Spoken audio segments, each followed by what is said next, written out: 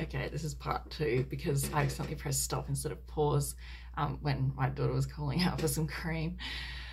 Uh, um, okay, so um, this is part of the statement from that Felicity Boyd.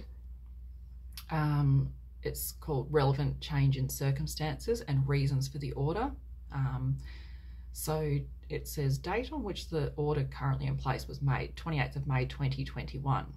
Now, um, what's interesting about that is that, um, yeah, that is the date that the latest interim family violence order that I'm still subject to um, was taken out. Um, this is after the flood um, had happened at my house, and I was already, uh, my daughter and I were already back living at my parents' house.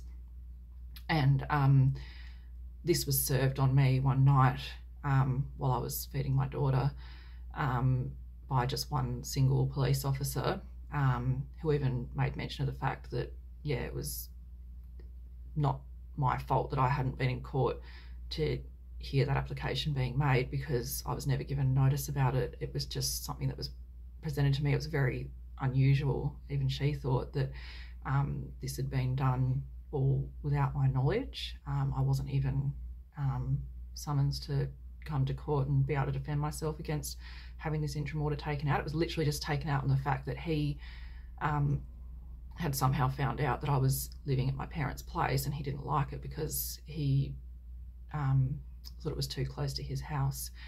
And um, I still to this day, I'm not 100% sure how he actually found out that I was living there. Um, obviously, um, I've cut contact with a lot of people now, but I think I was still in contact with people that were possibly mutual friends and were feeding information back to him. Um, but anyway, he found out somehow. So that's, yeah, how that came about. So that order was in place. That's the interim order that's still in place now, same one. So look at the date on it, 28th of May 2021. um, anyway, um, it says details of the relevant change in circumstances that have resulted in the making of this application for variation. Okay, so it goes on to say there have been 13 incidents of family violence reported to Tasmania Police since the 20th of August 2018 between the parties. Upon review of the most recent incidents and the collective risk factors outlined in all three incidents, it has been determined that the respondent would be a suitable candidate for an electronic monitoring device to enhance the safety and psychological well-being of Adrian and his son. Um, any additional reasons for the request for variation of the order? Um, it says there is an interim family violence order protecting the complainants from the respondent. Complainant Adrian and the respondent separated in around 2018 due to the respondent's deteriorating mental health. Um, the respondent gave birth to Audrey on 10th of July 2020 the respondent believes the complainant, Adrian, is the biological father. However, he denies this fact as they have been separated since 2018. The respondent is the owner of the property at Brighton. Uh, that's my address. However, she is not living at this address, electing to reside with her father at Granton, um, which is one kilometre from the complainant. The respondent's behaviour is escalating and complainant Adrian is fearful for his safety and the safety of his son. Okay, so I've got a few things to say about this. First of all, um, that stuff about how we separated in 2018 due to my deteriorating mental health, um, that is incorrect.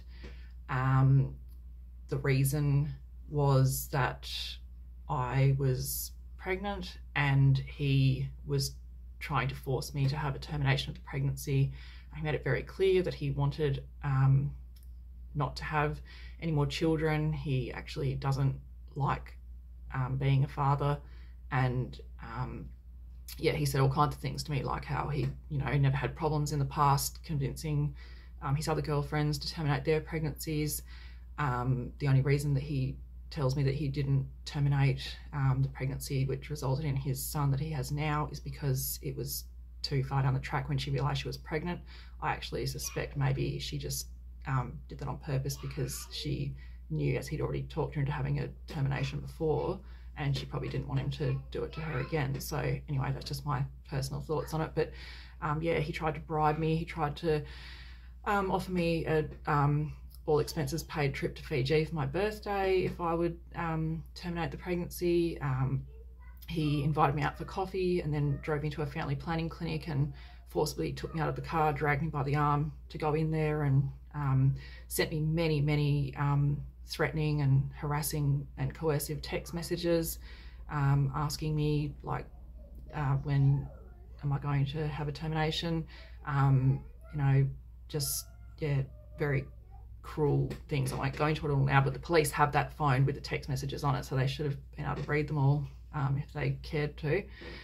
Um, anyway, um, yeah, so my mental health, I've always been open about the fact that I do have a diagnosed mental illness, and um, I've had that for a very long time. I've had that um, even before I met him. I had that mental illness. It was just that I only got diagnosed in um, yeah, I would have got diagnosed in 2018 with the mental illness. It was actually a good thing getting diagnosed because I was able to then get um, help. And for the first time in my life, I can understand myself better. And um, I've done the intensive therapy, and um, yeah, I I manage my mental health quite well. But um, yeah, it's quite. I do find it offensive that he does always rely on that and paint me as this. Um, I guess a um, what I've been described as mentally deranged and unstable and um, dangerous because I have a mental illness. And um, yeah, he always relies on that as the reason why he just had to break up with me. He also doesn't ever mention that um, that he um, broke up with me via a text message while I was pregnant as well. And then went on to Contact Relationships Australia to um, send out a letter um, trying to make me go to mediation where he would be applying for 50% custody of the child as well. Um, obviously, I ignored that. I didn't want anything to do with him and I wasn't going to let him have anything to do with the child as I was actually in fear of what he would do to the child based on things that he'd said to me.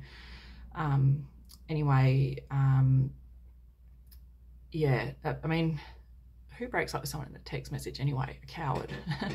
Only cowards do that.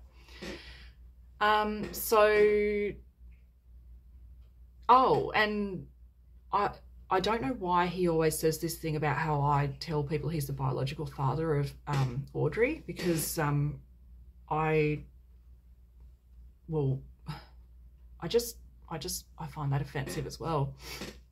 I don't know if that's something he genuinely believes, but it's um yeah. I don't think there's anything more I can really say on that. It's just I find that deeply offensive. Um,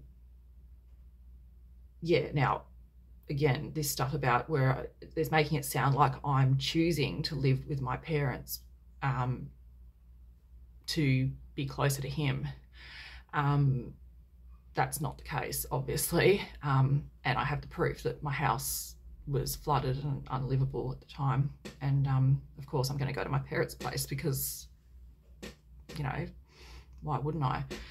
Um, also interesting that it states in there that it's one kilometre from um, his address because um, in the past um, the police have made a big deal about saying that it's less than a kilometre um, and have prevented me from being allowed to go to my parents' place. So um, yeah, there's there's also a lot of inconsistent information that will yeah that will come out.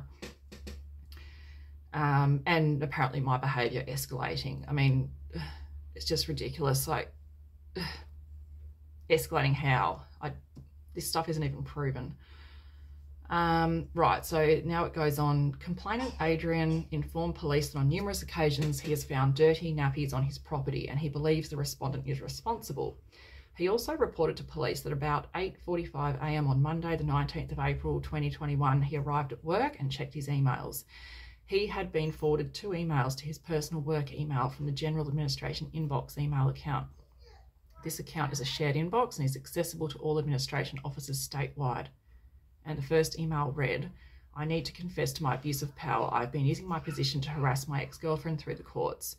I took out a restraining on her just because I can, because I'm a little bitch. She, oh, stay tuned for the photos of my Viagra prescription and the dick pics I've been sending to my work colleagues. The email subject line was attention, the management, and the email was sent from email address and it's got an email address with his name on it. Um, and it was received on Sunday, 18th of April 2021 at 4:50 p.m. There were five attachments to the email which appeared to complainant Adrian to be legal submissions completed by the respondent's lawyers in relation to recent allegations of breaches of the interim family violence order. These submissions contain defamatory and untrue statements about complainant Adrian perpetuate, oh, oh, perpetrating family violence resulting in miscarriage and a sexual assault. Complainant Adrian became concerned about the content of the email as it could have been viewed by many employees. He reported his concerns that the email and its attachments may have a detrimental effect on his employment, including his reputation. The second email contained a segment of a coronial fu- finding, oh, they've written funding, I think it's meant to say finding, in relation to Daryl Cook. Daryl Cook stood trial for the murder of uh, Vula, I think her name is, Vula De- Delois, in September 2018 and was found not guilty on the basis that he was not criminally responsible for his action due to his insanity. The email read, You only have to read this coroner's report. I've got blood on my hands. The email was sent from the same email account as the above email and was received at 4:59 p.m. The email subject line was Adrian and his surname plus incompetent incompetency. Again, complainant Adrian believes that this communication is an attempt to demean his professional competency and reputation. Complainant Adrian believes the respondent is, is responsible for creating and sending both emails as this sort of harassment in which as this sort of harassment in which the responsible person is concealed is not only typical of her behaviour, I also believe that it is likely that only Jennifer and her lawyer would have access to the court submissions. Tasmania Police continues to investigate this matter. So, all I can really say about that is, um, as I've mentioned in a previous video, um, uh, yeah, several years ago when I did have a Facebook account, and I'm sure my mental health was um, starting to deteriorate a bit around that time the stress that I just mentioned. Um, yeah, I did put all of those lawyer notes that they're referring to. Um, was my plea mitigation written by my lawyer who told me to plead guilty. Um, I put them all up on Facebook and I also emailed them to um, like so many people, like I think local MPs, um, friends, work colleagues. Like I just guessing maybe like 100 people plus the fact that I put it public up on Facebook. So, yes, I did do that. Um, but I didn't do what it's saying in here that I've supposedly done. Um, the coroner's report they're referring to, um, I've looked that up myself, and you can freely find that um, just by typing in a Google search, and it does mention Adrian by his full name in there too, as he was someone who had to interview this Daryl Cook while he was in prison and assess his suitability for um, parole. So yeah, you can go and read that if you want to. Um, yeah, I find this interesting too. That again, like this last line, how it says about how um, this sort of harassment is typical of me. Like based on what? Um, anyway, that's all I can really say. Oh, and that it's only likely, it's likely that only Jennifer and her lawyer would have access to those court submissions. No, no, it's not. Um, right, so next part says 10th of June 2021. Complainant Adrian located envelopes and junk mail inside his letterbox. When he pulled out the mail, he found